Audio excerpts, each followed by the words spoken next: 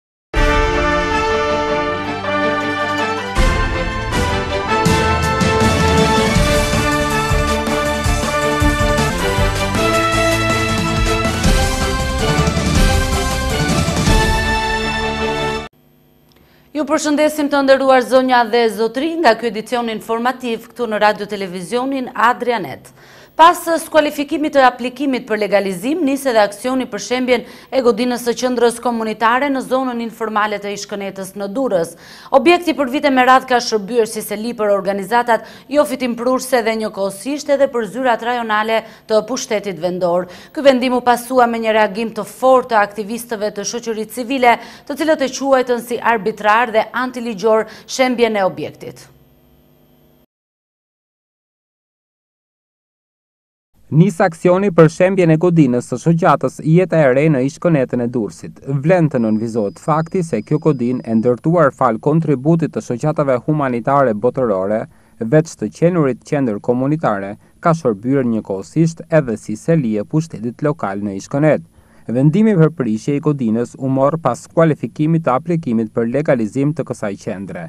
Ky vendim ka sjellë një reagim të ashpër të aktivistëve të shoqërisë civile, të cilët e cilësojnë vendimin krejtësisht të padrejtë dhe të paarsyeshëm, pasi po rrafshohet një pasuri e konsiderueshme dhuratë e shoqatave botërore, legalizimi i së cilës nuk duhej të diskutohej. Që të shkatërrojsh njëqind e pesëdhjetë mijë euro këtu, këtë objekt që ka rrit, ka kalit, një brez rinor këtu, të fuqishëm që nga dy mijë e treshi, Që janë bo me punë vullnetare, që që që të rejë dhe njim një që me qësë, a ku punë ti, të shkatrrosh një punë që ka nxjerrë të rinjë, i ka edukur, i ka kualifikur, formim profesional, edukim social e tjera tjera, ky jashtë një krimi nuk mund të ketë ndonjë gjë të bukur. Që u sa puna për të bërë një ndërtesë, pse e prish Qendrën e parë komunitare në këtë komunitet, qendra e parë komunitare që ka kontribuar, ku ka vend boll hapësira, ka ke ajo farmacia aty, një dylym tokë, për ta bërë qendër ndërtesë dykatëshe, ka ke farmacia tjetër dy, ka tokë këtu që mund të gjindet blehet 20 milion lek, një dylym a 30, të vjetra, gjithë një lek vjetra, edhe pse prishën gjithë të para, duke u bënë një qendër tjetër multifunksionale në qendër komunitetit i vjen në ndihmë ti. Agundi. Për këtë unë kam hap edhe, kam bërë edhe kallzim penal, kam bërë edhe kundërshtim të vend, prishjes vendimit në gjykatë, këta thonë nuk pyesim për gjykatën. Për drejtësi, unë e di që edhe një i dënuar, që e dënuar, ai mund të pushatohet, por pa dhënë shkalla e fundit e gjykatës, ai nuk pushatohet. Nga ana tjetër, drejtuesit vendorë të komunës nuk u prononcuan për mediat, ndonëse jashtë kamerave deklaruan se kjo shembje do t'i hapë rrugën një investimi më të madh të iniciuar nga Bashkia e Durrësit.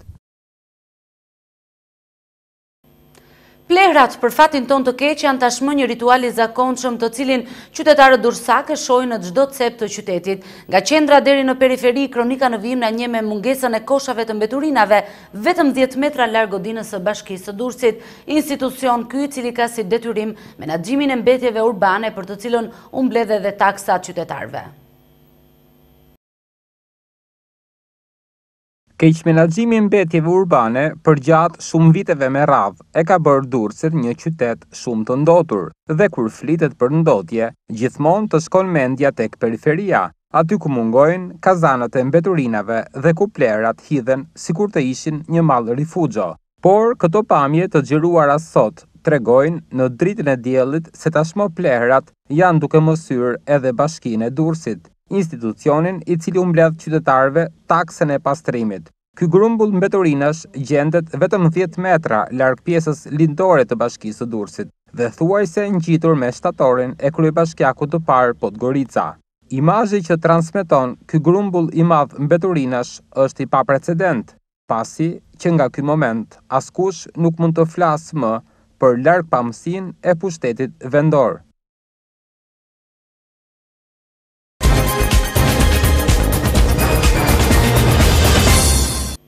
Programi i decentralizimit dhe zhvillimit vendor, një projekt i cili financohet nga qeveria zvicerane, ka prezantuar në Durrës disa projekte zhvillimi për të cilat ka nisur edhe procesi i përthithjes së mendimit të komunitetit në fakt krahas asistencës për të ndihmuar zhvillimin ekonomik të njësive të qeverisjes vendore një nga pikat më të forta të programit është edhe marrja e mendimit të komunitetit për projektet që duhet të realizohen. Prezantimi i disa fishave të projekteve të cilat janë identifikuar në përfundim të programit të zonave funksionale. Ka qenë kjo tema e aktivitetit të zhvilluar sot në Durrës nga programi DLDP, Program për Decentralizim dhe Zhvillim Vendor, program që mbështet njësitë e qeverisjes vendore. Programi i Zonave Funksionale është menduar si një instrument i cili do t'i shërbejë kryetarëve të njësive vendore të ardhshme që do të hyjnë në fuqi, le ta themi kështu në shtator të këtij viti, pas zgjedhjeve, dhe duke pasur parasysh që do të kemi njësi më të mëdha vendore si nga pikëpamja e territorit ashtu edhe nga pikëpamja e popullsisë, do të duhet që këta kryetarë të rinj të kenë një instrument për ta njohur më mirë këtë territor. Nëpërmjet analizave ekonomike, analizave të shërbimeve, do të mundet që të krijojnë ide për projekte të cilat ndikojnë drejtpërsëdrejti në zhvillimin ekonomik dhe në përmirësimin e cilësisë së shërbimeve në njësitë e reja vendore.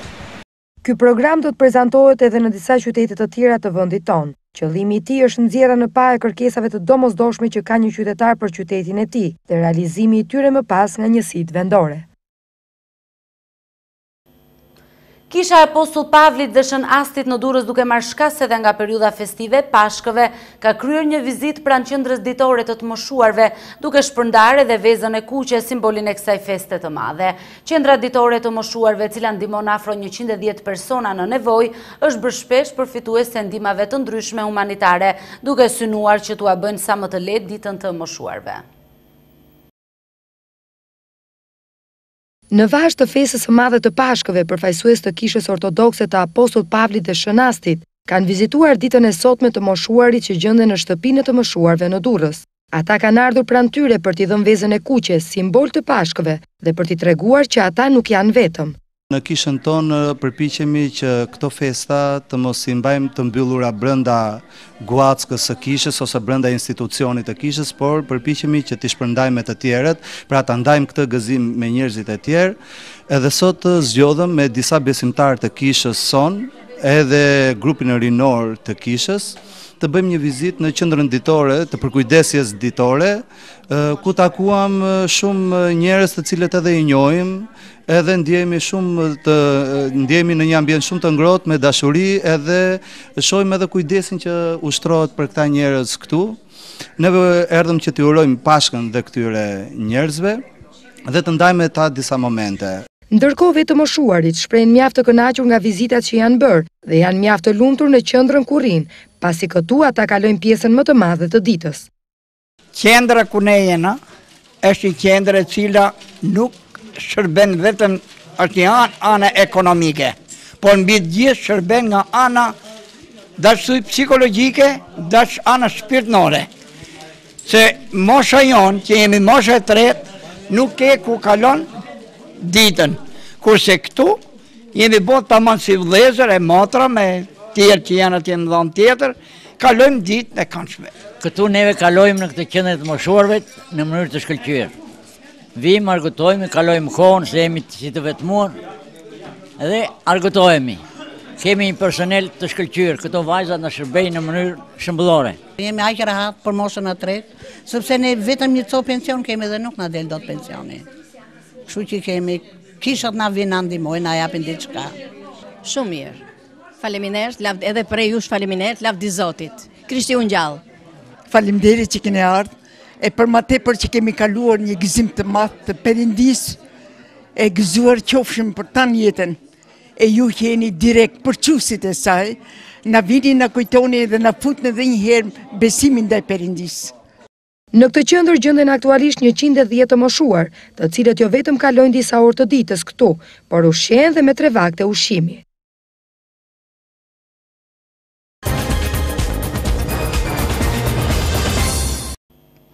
Pas pak ditësh starton kampionati kombëtar i ping-pongut për femra ku Teuta e Durrësit synon të fitojë titullin kampion. Në fakt Durrësi ka një traditë shumë të mirë në ping-pong për vajza, traditë të cilën vazhdon ta ushqejë dhe ta zhvillojë. Para pak javësh në përfundim edhe të një turneu kualifikimi u përcaktua që pikërisht vajzat e Durrësit do të jenë ato që do të përfaqësojnë vendin tonë në kampionatin ballkanik të ping-pongut, që pritet të zhvillohet në Serbi. Vajzat durrsake në ping-pong po i rikthejnë emrin e mirë dhe traditën e shkëlqyer të Teutës ndër vite. Në të gjitha aktivitetet e fundit të zhvilluara në rang kombëtar, Teuta në ping-pong për vajza është ngjitur në podium si fituese për të gjitha grupmoshat, duke treguar se për momentin është ajo skuadra që dominon ping-pongun shqiptar të vajzave. Aktualisht Teuta në ping-pong për vajza me tre sportistet e saj, Liridona Rexhaj, Alba Xhupi dhe Emirjeta Isufi, është kampione kombëtare për grupmoshat nën pesëmbëdhjetë vjeç, para të reja, të reja dhe të rritura. Edhe në aktivitetin e fundit për të rinj zhvilluar pak ditë më parë në Durrës, ishin pikërisht tre vajzat durrsake që u kualifikuan për në Kampionatin Ballkanik të njëzet e një vjeçarëve, që do të zhvillohet në Serbi në tetor të këtij viti.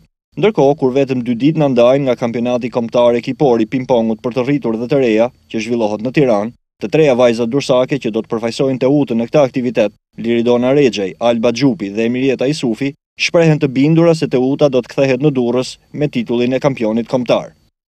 Atëherë Teuta është e përbërë nga tre vajza dhe ne në këtë kampionat shkojmë me një objektiv të qartë, me objektivin për të fituar me të gjitha konkurrentet e tjera. Ku e mbështesni këtë besim? Ne e mbështesim këtë besim sepse ne jemi tre vajzat më të mira të gjithë Shqipërisë dhe me rezultatet që kemi arritur deri tani besojmë se do kualifikohemi me një arritje sa më të mirë tek kampionatet e tjera. Në këtë kampionat shpresojmë që të dalim mirë, të arrijmë me një fitore në shtëpi, me një kupë dhe të japim një rezultat sa më të mirë për për vitin më të ardhshëm. Atëherë, meqenëse kemi dalë shumë herë radhazi si kampion si për të vegjël ekipor, për të rinj dhe për të rritur, atëherë duam që ta majmë fort këtë titull, falë trajnerit Musat Rnishi që me stërvitjen e tij. Veç talentit të këtyre vajzave, një pjesë të mirë të këtij suksesi tek Teuta padyshim që ka edhe trajneri i tyre punëtor dhe pasionant, Musa Tërniqi, kampion i dikurshëm i pingpongut, i cili ka punuar për vite me këto vajza për t'i sjellë tek arritjet e sotme në nivelet më të larta të pingpongut shqiptar. Futbollistët e Teutës së Durrësit janë duke u përgatitur për sfidën e radhës atë kundër ekipit të Laçit. Pavarësisht disa mungesave në ekip, Teuta është në kërkim të një rezultati pozitiv, pasi ende nuk e ka të garantuar qëndrimin në Superligë. Durrsakët kanë lënë pas fitoren e arritur të dielën ndaj Elbasanit në stadiumin Niko Dovana dhe prej të martës kanë nisur përgatitjet për sfidën e radhës, atë kundër Laçit që do ta luajnë në transfertë. Në tre sfidat e para të luajtura gjatë këtij sezoni midis këtyre dy skuadrave, Teuta ka marrë një fitore dhe ka humbur dy të tjerat. Për Teutën, transferta e Laçit shihet si mjaft e vështirë, pasi ky ekip po kalon një formë të shkëlqyer sportive në kampionat dhe kupë, duke dhënë leksione futbolli edhe kundër skuadrave që udhëheqin kampionatin. Mjafton këtu të kujtojmë dy rezultatet e fundit, fitoren e arritur një javë më parë ndaj Skënderbeut, si edhe barazimin e merituar të arritur në Kukës ndaj skuadrës vendase. Burime nga stafi teknik i Teutës bëjnë me dije se në sfidën kundër Laçit, Teutës do t'i mungojnë dy nga futbollistët titullarë, Nika dhe Deliallisi, për arsye kartonësh, ndërkohë që në dyshim mbetet dhe aktivizimi i Hodës për arsye dëmtimi. Megjithatë, për këtë të fundit, stafi mjekësor po bën gjithçka të mundur për ta rikuperuar deri ditën e ndeshjes. Për televizionin Adrianet, drejtori teknik i Teutës, Ilir Biturku, shprehet se mbeten ende sfida të vështira për t'u luajtur, ku skuadra e tij do të japë maksimumin në gjashtë javët e mbetura të këtij kampionati, pasi ende nuk e ka siguruar matematikisht qëndrimin në elitë. Unë mendoj që të gjitha sfidat janë të vështira për Teutën, kanë mbetur edhe 6 javë, të cilat janë 6 finale sepse diferenca prej 7 pikëve që kemi me Apollonin sigurisht që nuk të lënë të qetë, përderisa matematika tregon që janë 18 pikë në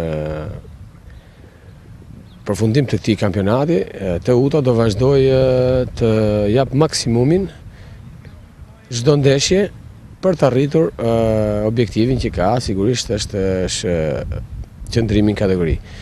Në këto momente që flasim, sigurisht që skuadra gjendet në një gjendje të mirë psikologjike, sepse vjen mas fitores me Elbasanin, ka krijuar entuziazëm, Por, nga ana tjetër, do të them që do të jemi vazhdimisht me këmbë në tokë, sepse në fund fundit kemi bërë vetëm detyrën, kemi mundur një rival të ashtuquajtur direkt, ose më mirë kemi dhënë goditjen e fundit Elbasanit. Tani pretendojmë që të shkojmë në Laç për të arritur një rezultat pozitiv, dhe nëse do të jetë e mundur që ne pretendojmë Marrim maksimumin, kam bindjen që Teuta përfundimisht i shpëton i shpëton kësaj vorbulle që ndodhet në këto momente. Ndeshja midis Teutës dhe Laçit do të luhet të premten, në stadiumin e Laçit në orën gjashtëmbëdhjetë dhe do t'i paraprijë sfidave të tjera të javës së tridhjetë e një të Superligës që do të luhen një ditë më pas, ku mes katër çifteve spikat supersfida midis Partizanit dhe Kukësit, dy prej skuadrave pretendente për titullin kampion.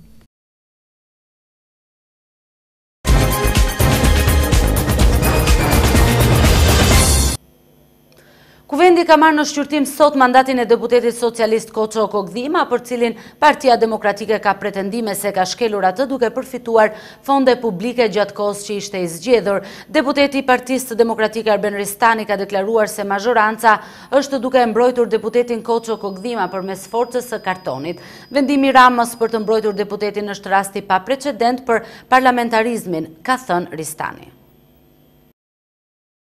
Çështja është që deputeti ka qenë në konflikt interesi dhe Kushtetuta parashikon se duke qenë në një pozitë të tillë duhet t'i mbarojë mandati apo të jetë i pavlefshëm ai. Ne na duhet të provonim që në kohën që ka qenë deputet ka përfituar fonde publike dhe kjo është e provuar. Kushtetuta nuk thotë se ka lidhur kontrata apo s'ka lidhur kontrata, por thotë që ka përfituar apo s'ka përfituar fonde publike. Që ka përfituar fonde publike është tashmë e provuar siç e dëgjuat e pranoi dhe vetë.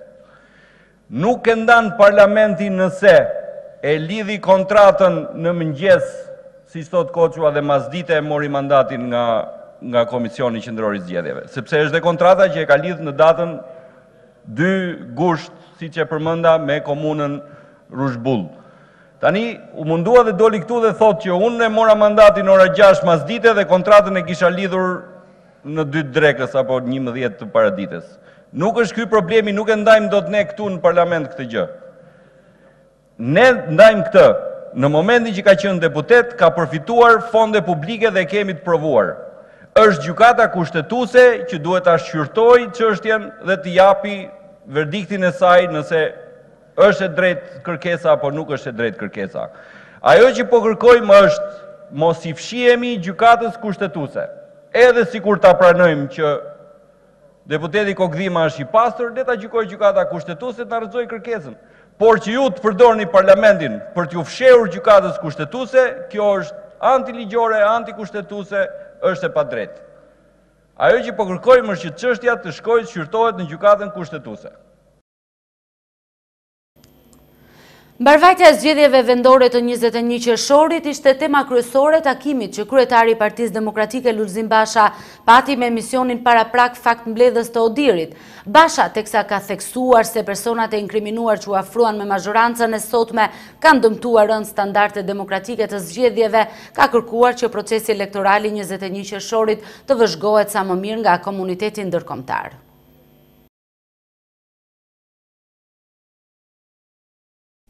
Kryetari i Partisë Demokratike, Lulzim Basha, ka takuar sot misionin paraprak faktmbledhës të ODIHR-it, ku u diskutua mbi situatën parazgjedhore në Shqipëri.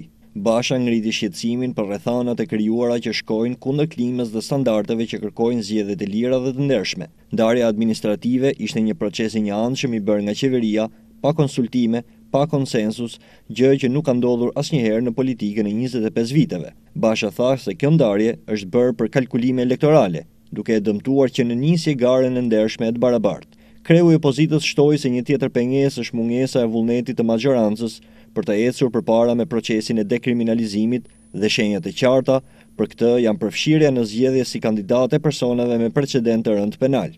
Zgjedhjet e vitit dy mijë e trembëdhjetë dëshmuan se personat e inkriminuar që u afruan me mazhorancën e sotme dëmtuan rëndë standardet, duke blerë vota e shantazhuar qytetarët.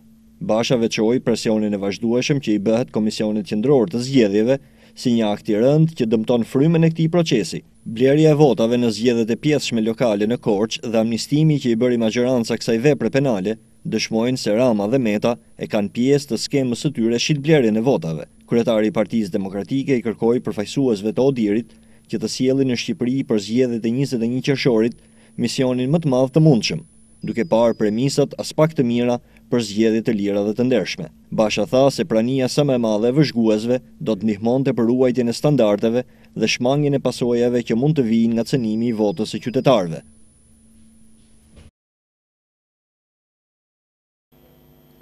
Kryetari i Partisë së Bashkimit për të Drejtat e Njeriut Vangjel Dule ka bërë të ditur sot vendimin e forcës politike që ai drejton për të dalë e vetme në zgjedhjet vendore të 21 qershorit. Megjithatë ai ka bërë të ditur faktin se komunikimi me partitë e tjera si të mazhorancës ashtu edhe të opozitës nuk është ndërprerë.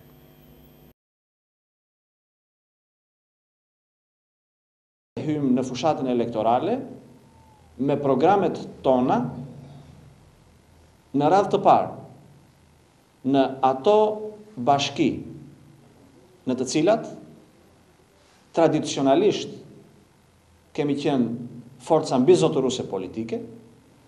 Kemi pasur programin më adekuat për problematikën lokale dhe rrjedhimisht të njëjtën gjë do të përsërisim edhe në këto zgjedhje.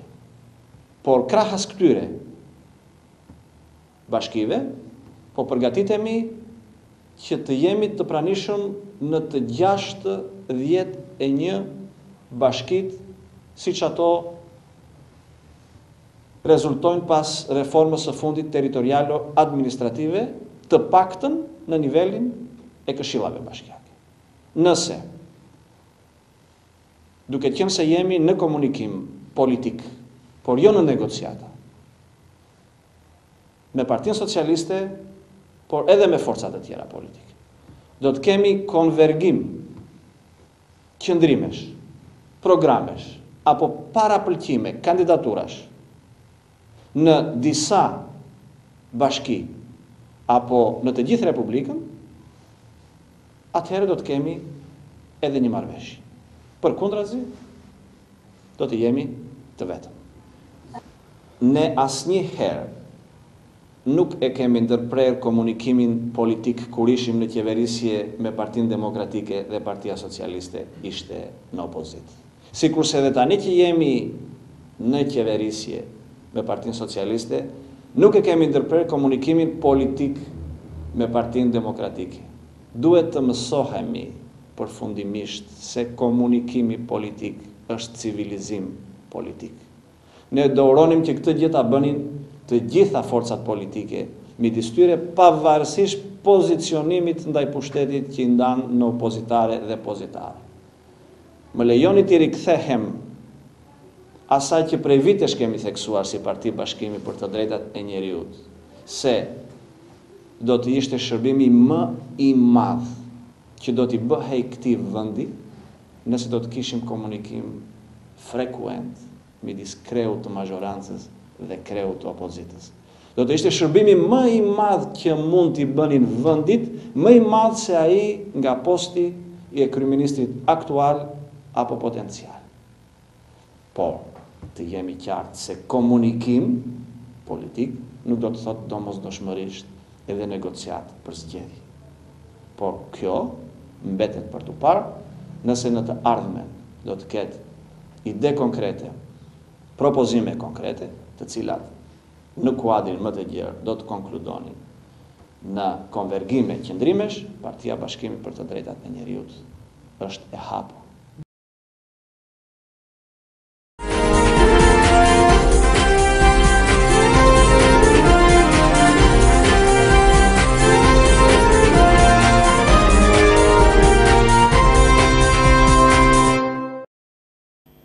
Do të kalojmë tashmë t'ju njohim me informacione nga rrethe të ndryshme të vendit. Papunësia dhe shkurtimi i ndihmës ekonomike kanë goditur rëndë një pjesë të familjeve të cilat tani hasin vështirësi gjithnjë më të mëdha për të përballuar jetën. Në qytetin e Elbasanit një familje e tillë nuk përballon dot as koston e mbijetesës pasi burimet e vetme të fitimit janë pensionet dhe mbledhja e mbeturinave të riciklueshme. Në qytetin e Elbasanit ka një numër të madh familjesh në nevojë. Njëra prej tyre është edhe familja e Safet Jugut, ku vështirësia më e madhe është sigurimi i ushqimit. Për fat të keq, ky është një problem që hasin shumë familje në Shqipëri, kjo pasi papunësia është e nivelit të lartë dhe pensionet sociale janë qesharake, ndërsa çmimet e ushqimeve bazë dhe medikamentet janë tepër të larta. Kryefamiljari Safet Jugu i bën thirrje të gjitha institucioneve shtetërore dhe private që ta ndihmojnë familjen e tij nga ana ekonomike. Familja Jugu është e përbërë prej 7 personash, ku 5 prej tyre kanë probleme serioze shëndetësore. Sipas kryefamiljarit të ardhurat nuk mbulojnë dot koston e medikamenteve. Jugu bën me dije se situata ekonomike në të cilën ndodhet familja e tij është mjaft e rënduar. I vetmi që sjell të ardhura në familje është djali i madh. E këtë e bën duke mbledhur bimë mjekësore dhe kanaçe. Më problematiku në familje është djali njëzet e gjashtë vjeçar Taulanti, i cili është i shtruar në spitalin e psikiatrisë, pasi gjendja e tij është aq e rënduar sa përbën rrezikshmëri për pjesëtarët e tjerë të familjes. Veç që me pensionin e invalidit po unë marr njëqind e tetëdhjetë mijë lekë ilaçe, jam me pesë diagnoza. Nga sytë, jam bo katër herë operacion nga veshkat dhe jam me hernie diskale me dokumenta të skanerit dhe gjithë të ekos. Çuni është i smurë, është vra në kokë qysh tetë vjeç, dhe sa vjen të rritet ma tepër bëhet depresioni arriti deri në moshë 25 vjeç. Djali tjetër është ka kalu hepatit edhe mëlçia edhe tjetra. Ai që ka fëmin, po, me bimë mjekësore. Me ta jetoni. Me këto, Lekë, të ardhura që marrin këta nuk nxirret absolutisht. Do shkosh dy javë, nuk nxirret. Nuk nxirret se do të punojnë të gjithë që të marrin, unë s'marr gjë. Që i merr veç burri dhe dy çunat. As njëri tjetër. E kupton. Isha edhe unë invalide, kam vojtur nga mushkria, kam qenë në sanatorium nana jote, kam qenë, kam vojtur 2-3 vjet, kam kaluar një ftohje të rëndë, Edhe ma hoqën, o po u shërove, e ma hoqi KEMP-i prapë. Edhe vajta atje dhe ata kemi hequr tha, ti je shëruar tha, nënë. E mirë, ngela unë. Gjendja e familjes Jugo është mjaft e rënduar, pasi pesë prej tyre vuajnë nga sëmundje të rënda dhe askush nuk ka një punë të qëndrueshme. Ata bëjnë me dije që vështirësinë më të madhe e kanë tek sigurimi i ushqimit për të mbajtur frymën gjallë. Në qytetin e Burrelit është organizuar prezantimi i programit të turneut të hapur ndërkombëtar të ping-pongut BIT 2015. Ky aktivitet ndërkombëtar i cili organizohet për të tretin vit radhazi, duke sjellë në Mat edhe sportistë të huaj, pritet të shërbejë edhe si një promotor i rëndësishëm i turizmit në një nga rajonet malore më të bukura të vendit. Grupi organizator i turneut ndërkombëtar të ping-pongut, Bit dy mijë e pesëmbëdhjetë, i cili organizohet për të tretin vit radhazi në qytetin e Burrelit, bëri sot publik programin e tre ditëve të këtij turneu, që do të zhvillohet në datat një, dy dhe tre maj. Edhe këtë vit, Bit dy mijë e pesëmbëdhjetë do të nisë me etapën çiklistike Tiranë-Burrel. Kryetarja e Bashkisë Burrel Adelina Farrici tha se qyteti i Burrelit është i gatshëm ta mirëpresë edhe këtë vit turneun ndërkombëtar të ping-pongut Të emërtuar tribut mësuesve. Jemi përpara Bitit dy mijë e pesëmbëdhjetë, një Bit që ne e kemi e kemi lançuar, e kemi lançuar ditën e festës së mësuesit, pasi ky ky i, i atribohet edhe mësuesës. Mësuesve dhe Bit është tribut teachers për për mësuesit. Kështu që besoj do të jetë një nga Bitet që do të ketë standarde pak më të larta, do të ketë risi dhe do ketë dhe një pjesëmarrje pak më të madhe për vetë faktin se kujt i adresohet ky ky bit. Një nga prioritetet e zhvillimit të rrethit të Matit ne shikojmë promovimi i turizmit dhe i, i traditave, i kulturës dhe historisë matjane dhe mendoj ky është rasti që mund t'bë, ku ka më mirë se sa ky aktivitet të bëjë këtë gjë, pasi këtu në qytetin e Burrelit ne do biem uh, jo vetëm uh, sportistë nga gjithë Shqipëria, por do të vinë edhe nga vendet e Ballkanit dhe ne si zyrë, zyra e promovimit të turizmit, duhet të lançojë dhe të tregojë se çfarë mund të ofrohet në mënyrë që të gjithë ato sportistë që vijnë sot në Mat të bëhen persona që të promovojnë turizmin e Matit dhe të ftojnë dhe të tjerë.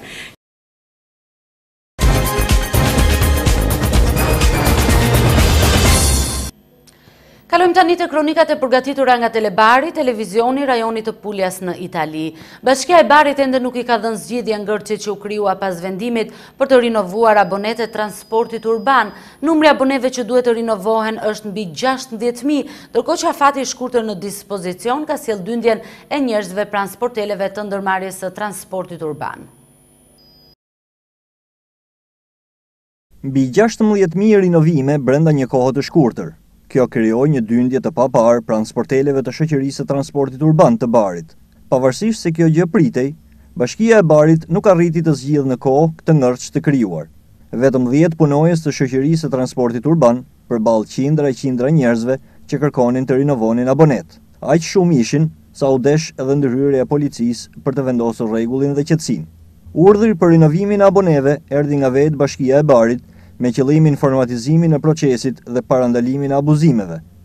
Një pjesë e përdoruesve të këtyre aboneve e përfitojnë atë falas, të cilët janë invalidët dhe të moshuarit mbi gjashtëdhjetë e pesë vjeç. Në këtë kategori janë identifikuar edhe abuzimet më të mëdha, duke sjellë kështu edhe vetë këtë proces rinovimi. Por, pavarësisht pritshmërive, munguan masat për situatën që pritej të krijohej.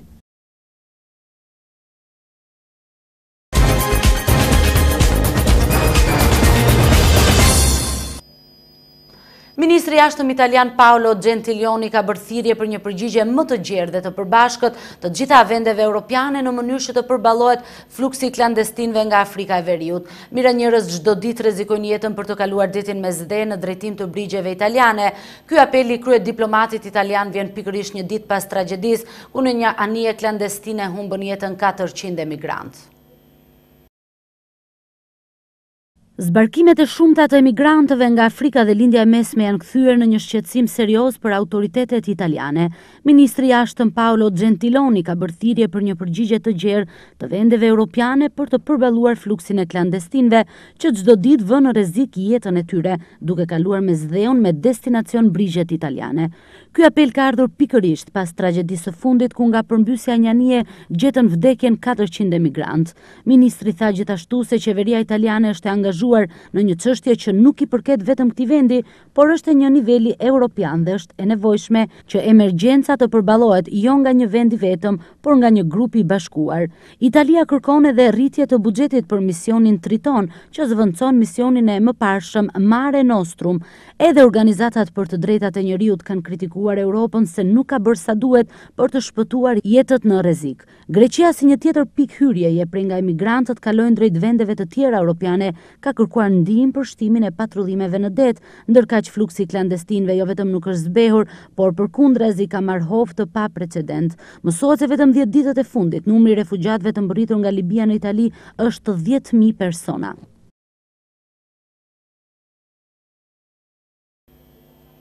Presidenti i Iranit ka deklaruar se Teherani do t'i përmbahet kushteve të marrëveshjes mbi energjinë bërthamore, vetëm nëse fuqitë botërore do të heqin të gjitha sanksionet ekonomike të vendosura kundër vendit të tij.